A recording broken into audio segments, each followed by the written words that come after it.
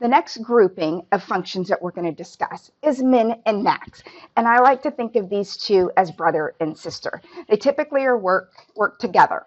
So min finds the minimum value within a range of cells, and max finds the maximum value within a range of cells. So if we go through the functions that we've already covered and look at those, we've done sum, we've done average, and here at the bottom of the screen are min and max. And min and max are a little bit different than the other two functions that we've done so far. Sum as well as average have only had one argument in them. Remember, we only had one range of cells that we were looking at.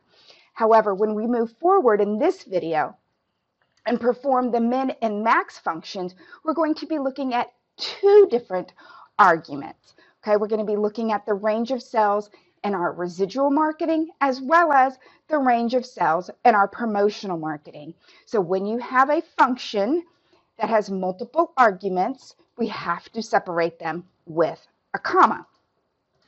We're going to go to our spreadsheet now, our marketing budget spreadsheet that we've been working with for the last couple of exercises, and we're going to make B26 our active cell. So a quick refresher to get to an active cell, we can come up here in our name box and type B26 and it will take us to that cell or you can just take your mouse and click on that cell directly. So as B26 is our active cell, we're going to mm, come up here on our home ribbon, the last editing group, we're going to drop it down and we're going to choose min, okay? And Excel thinks that we're going to find the minimum value between our average and promotional uh, marketing, but that's not correct. We're going to take our mouse and we're going to go up to cell B3, left click and drag all the way over to M6. We're going to hit a comma on our keyboard. We're going to now take our mouse and select the range of B12 all the way over to M13. And this is somewhat similar to when we were doing formulas. And remember, we had multiple cells that were involved in a formula and they were multiple colors.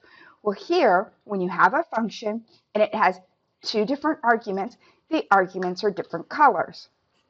The argument involving B3 through M6 is blue, and the argument involving cells B12 through M13 is, we'll call that red.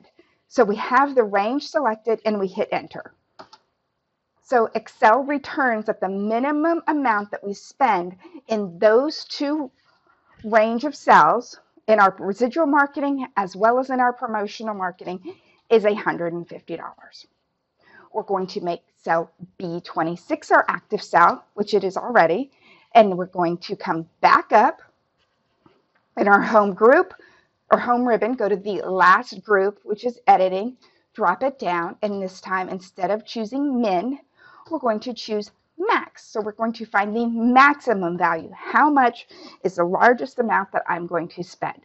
Once again, the same exact range that we used for min, we're going to highlight the cell range of B3 through M6, hit the comma on our keyboard, and now come over here and select the range of cells from B12 all the way over to M13.